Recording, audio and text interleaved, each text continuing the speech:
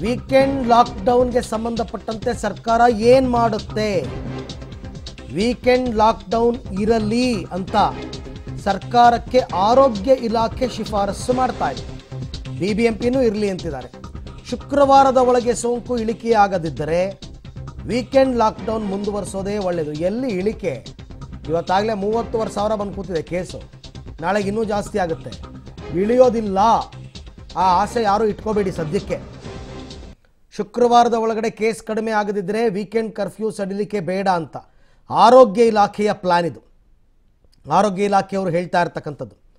So ಹಾಗಾಗಿ ಶುಕ್ರವಾರದವರೆಗೆ case trend ನೋಡಬೇಕಾಗತ್ತೆ ಅಂತ ಆರೋಗ್ಯ ಇಲಾಖೆ ಹೇಳ್ತಾ ಇದೆ. ಕೊರೋನಾ ಇಳಿದರಷ್ಟೇ ಸಡಿಲಿಕೆ ಮಾಡೋದು ಉತ್ತಮ. ಅದು ಇಳಿಯಲ್ಲ, ನೀವು ಸಡಿಲಿಕೆ ಮಾಡೋದು ಬೇಡ ಅಂತ. ಏಕೆಂದರೆ ಇನ್ನೊಂದೇ ದಿನ ಇರೋದಲ್ವಾ? ನಾಳೆ ಒಂದಿನ ಬಂದುಬಿಟ್ರೆ ಆಮೇಲೆ ಏನು ಇಳಿಕೆ ಅಂತಕ್ಕಂಥದ್ದು ಕಾಣ್ತಾನೇ ಇಲ್ಲ. ಜಿಲ್ಲೆಯಲ್ಲಿ ಪಾಸಿಟಿವಿಟಿ ರೇಟ್ ಮೇಲೆ ನಿರ್ಧಾರವನ್ನು ಮಾಡೋಣ. ಆಯಾ ಜಿಲ್ಲೆಗಳಲ್ಲಿ ಪಾಸಿಟಿವಿಟಿ ರೇಟ್ ಕಡಿಮೆ ಇದ್ದರೆ ಬೇಕಾದ್ರೆ ರಿಲ್ಯಾಕ್ಸೇಷನ್ ಕೊಡೋಣ ಅಂತ. ಹೋಮ್ ಐಸೋಲೇಷನಲ್ಲಿ ಇರುವವರ ಸ್ಥಿತಿ ಗಮನಿಸಿ ನಿರ್ಧಾರ ಮಾಡಬೇಕಾಗುತ್ತೆ. ಹೋಮ್ ಐಸೋಲೇಷನ್ನಲ್ಲಿರುವವರು ಹಾಗೆ ಚೇತರಿಸ್ಕೋತಾ ಇದ್ದರೆ ಪರವಾಗಿಲ್ಲ. ಅವರೇನಾದರೂ ಹಾಸ್ಪಿಟ್ಲಿಗೆ ಬರೋ ಸ್ಥಿತಿ ಆಗಿಬಿಟ್ರೆ ಕಷ್ಟ. ಶುಕ್ರವಾರದವರೆಗೆ ಕೇಸ್ ಕಡಿಮೆ ಆಗದೇ ಇದ್ದರೆ ಇದೇ ನಿಯಮವನ್ನು ಮುಂದುವರಿಸುವುದು ಸೂಕ್ತ. ಹಾಗಾಗಿ ಸರ್ಕಾರ ನನ್ನ ಪ್ರಕಾರ ವೀಕೆಂಡ್ ಕರ್ಫ್ಯೂ ಮುಂದುವರಿಸುತ್ತೆ, ಬೆಂಗಳೂರು ಪರ್ಟಿಕ್ಯುಲರ್ ಆಗಿ.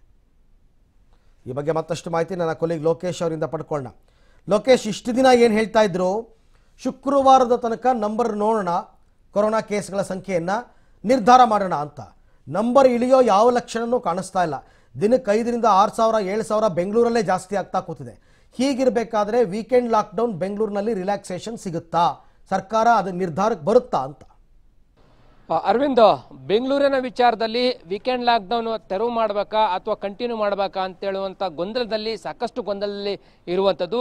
ಇದಕ್ಕೆ ವಲಯವಾರು ಮಟ್ಟದಲ್ಲೂ ಕೂಡ, ಜೊತೆಗೆ ಇಲಾಖೆಗಳ ಮಟ್ಟದಲ್ಲೂ ಕೂಡ ಕಂಟಿನ್ಯೂ ಮಾಡಬೇಕು ಅಂತೇಳಿ ಅಭಿಪ್ರಾಯಗಳು ವ್ಯಕ್ತ ಆಗ್ತಾ ಇರುವಂಥದ್ದು. ಹಾಗಾಗಿ ಬೆಂಗಳೂರಿನಲ್ಲಿ ವೀಕೆಂಡ್ ಲಾಕ್ಡೌನ್ ಕಂಟಿನ್ಯೂ ಮಾಡುತ್ತಾ ಸರ್ಕಾರ ಅಥವಾ ರದ್ದು ಮಾಡುತ್ತಾ, ರದ್ದು ಮಾಡಿ ಒಂದಿಷ್ಟು ಸ್ಟ್ರಿಕ್ಟ್ ರೂಲ್ಸ್ ಅನ್ನ ಜಾರಿಗೆ ತರುತ್ತಾ ಅಂತ ಕಾದು ನೋಡಬೇಕಾಗಿದೆ. ಆದರೆ ಕಳೆದ ಸೋಮವಾರ ಮುಖ್ಯಮಂತ್ರಿಗಳು ಒಂದು ಸಭೆಯನ್ನು ಮಾಡಿದ್ರು. ಆ ಸಭೆಯಲ್ಲಿ ಕರ್ಫ್ಯೂ ಬಗ್ಗೆ ಯಾವುದೇ ರೀತಿಯ ಚರ್ಚೆ ಆಗಿರಲಿಲ್ಲ.